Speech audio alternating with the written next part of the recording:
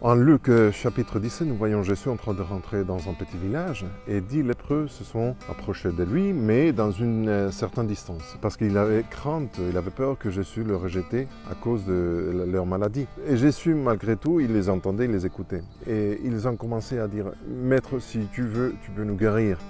Il a dit, je veux, allez-y au temple. Ils ont été guéris. Il a respecté cette distance parce qu'il savait qu'ils avaient peur. Donc il a respecté même ces peurs qu'ils avaient. Aujourd'hui, nous arrive pareillement. Il y a des gens qui se sentent vraiment malades, vraiment sales, vraiment impurs.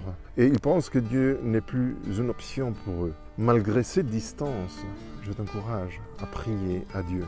Parce que même dans cette distance, il écoute toujours. Tu ne seras jamais déçu de sa réponse.